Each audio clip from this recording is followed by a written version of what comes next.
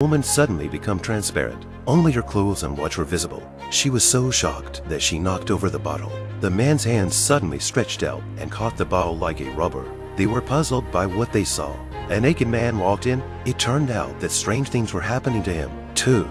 He was skiing with his girlfriend. Suddenly he was on fire, but it doesn't feel it until his girlfriend alerted him. When he was about to fall off the cliff, he waved his hands and turned into a fireman and shot into a snow drift. The snow drift turned into a hot spring. Now he can make fire with the snap of a finger. It turns out they were all exposed to solar radiation during their space missions. Each of them developed their own mutations and superpowers. The fourth man is undergoing a painful mutation. The three of them rush to check it out, but they can't open the door. This man flattened his hand, slid his hand through the door and punched the lock. They heard an explosion, but the room was empty. The fourth man turned into a stone man.